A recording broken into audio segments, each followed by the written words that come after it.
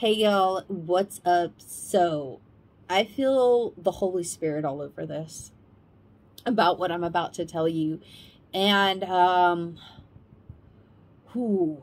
So, you guys know how I've been in Amos, and the Lord has connected Amos to revelation and a vision and all kinds of fun stuff. The Holy Spirit's been moving like crazy, and God God's putting pieces together. So I know we are close to the rapture. Now, I want to start off by saying I'm not setting a date, but I am saying something big is coming and God is warning us. So, y'all are going to find this very interesting because I had even forgot, I had forgot that Shelly had gotten um, a warning from God. And I feel like I gave her confirmation on her warning. And it's like, whoa, mind blowing. Okay. So, um, I had felt in my spirit, look up when the next full moon is for August. And I was like, okay. I got more than I bargained for.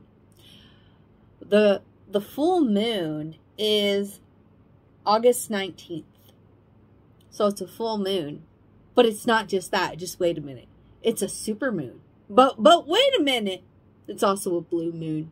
It's a three in one. Okay, this just came in my spirit. God is three in one. Father, Son, Holy Spirit. What? And so we've got full moon, super moon, blue moon. That just popped into my spirit. Like God's speaking. I hope I hope we're listening. So I had felt led to share this with Sister Shelley.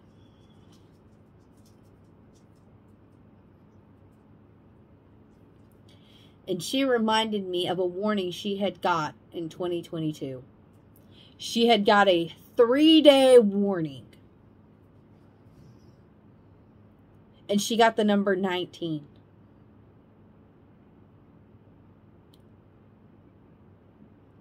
So I think the next thing you're out, you guys are going to be like, what? Okay. So exactly three days from 19, it will be August 21st, the seven year anniversary of the 2017 eclipse. And God had given me August 21st. But wait, there's more. God had also reminded me that he had given me not only August 21st, the anniversary of the 2017 eclipse, I was given the story of Joseph and the Pharaoh. Remember, the Pharaoh had two dreams that were the that were the same dream. It meant the same thing.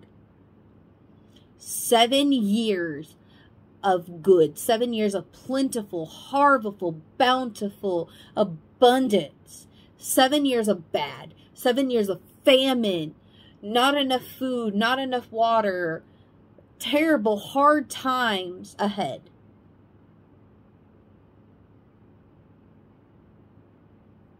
Yeah. The Holy Spirit is definitely all over this. God is using the Holy Spirit to speak to us. I just have a feeling we're going home soon. God, I don't know if August 21st is the day of the rapture.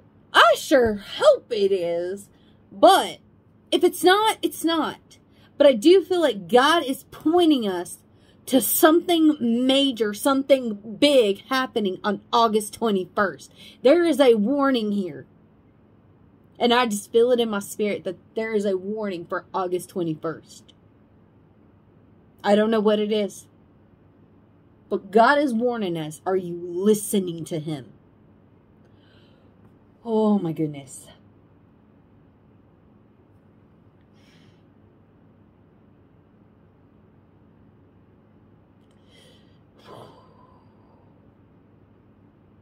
I feel like I need to mention this I know I've mentioned it in a couple other videos, but wow, the Holy Spirit really wants me to mention this again.